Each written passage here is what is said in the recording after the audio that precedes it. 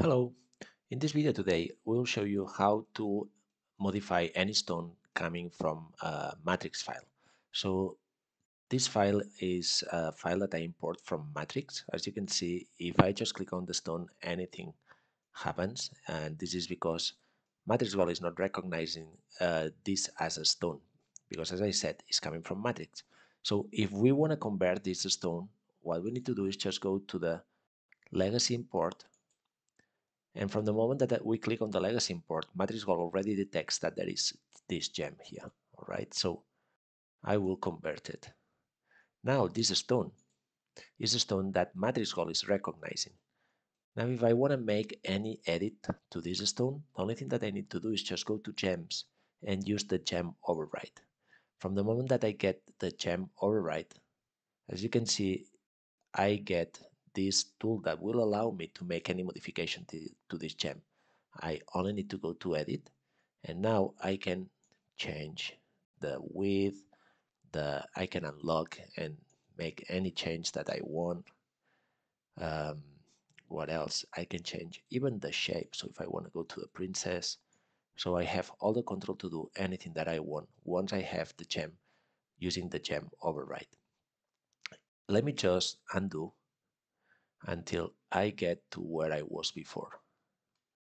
So again, this is a gem that is coming from matrix. What happens if I uh, start to do copies from this gem? One, two, and three. So I can do the same. Again, I go to matrix, uh, main menu, I go to legacy import, we have found gems, we convert them and again, we still don't get anything. So, but at least MatrixGold is already recognizing these stones. Now, if I select all of them and I go to the gem override, again, I will get the gems and uh, these gems are inside here. So I can go to edit and as you can see, I have this white dot that will allow me to select any of those and make any modification. So actually I can select this one and I can rotate it.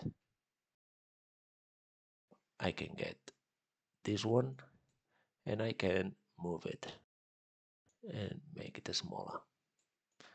And I have all the details here. All right, or again, I can go back to edit and on this one, I will select it and I will use a different cut, a cabochon. All right. So this is something that is uh, very very convenient because now I can get any of those and use the MatrixGold tool. So for instance I can use a bezel and apply a bezel on this stone. So I will go to a 50% and I will probably drop this a bit. Alright so it's just a little trick to uh, keep using the stones that you used to have in matrix or even if you have a stones that has lost all the history, you can do the gem override. So you have, again, the option to use them with all the tools that are related to stones. So I hope that this was a good trick for you. Thanks for watching.